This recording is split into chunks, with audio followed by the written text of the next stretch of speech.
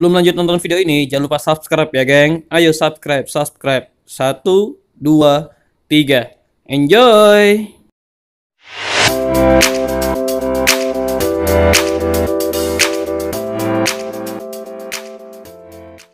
Saat Sam galau akan nasib masa depannya setelah mengambil ijazah di kampus tercinta, Sam pun berjumpa dosen favoritnya saat masih kuliah.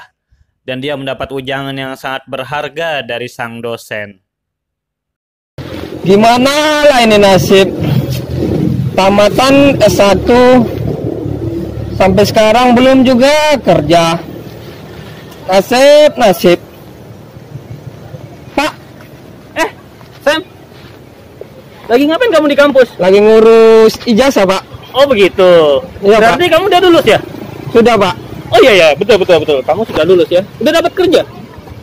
Itulah jadi permasalahannya belum pak Aduh, sini sini duduk duduk. Saya ceritain ya. Iya pak Jadi begini Sam, waktu saya seusiamu nih, cerita hidup saya itu Lebih susah dari saya pak ya tidak lah. Saya itu sebelum lulus kuliah saja itu sudah diterima di banyak perusahaan. Karena saya itu gigih orangnya. Jadi sebelum lulus pun saya udah melamar tuh di perusahaan-perusahaan banyak. Karena saya yakin saya tuh udah pasti lulus. Gitu Sam. Iya ya pak Tapi kalau saya nilai dari kamu ya, nilai kamu bagus. Iya pak Kamu rajin masuk kelas. Iya pak Kamu kumlot juga kan lulusnya? Iya pak Permasalahannya apa kira-kira ya? Kamu susah dapat kerja. Menurut bapak Kekurangan saya apa pak Sebentar, coba saya lihat dulu muka kamu ya. Kalau saya perhatiin nih Sam, kamu itu kurang gairah Sam. Muka kamu itu aja udah kayak baju nggak disetrika. Masa sih pak Coba kamu ngaca, kamu perhatiin itu muka kamu, bentuk mukanya segala macam. Orang ketika panggil kamu interview itu langsung lihat, aduh, ini orang seperti nggak punya semangat hidup. Ini jadi saya kasih tahu Sam ya, Iya pak yang harus kau lakukan nih.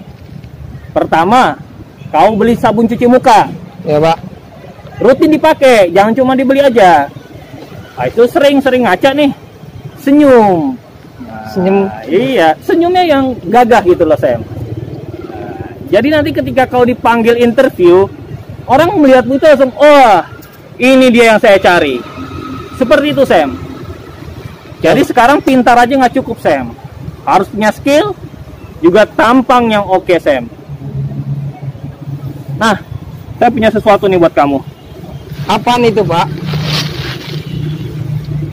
Nah, ini buat kau sering-sering lap mukamu dulu sebelum kau beli sabun cuci muka. Oke? Ingatin itu tadi saran-saran saya.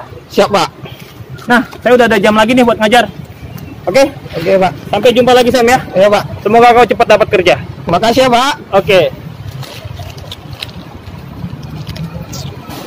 Buat apa lah tisu ini? Saya butuh pekerjaan pak, pak. Nasib, nasib.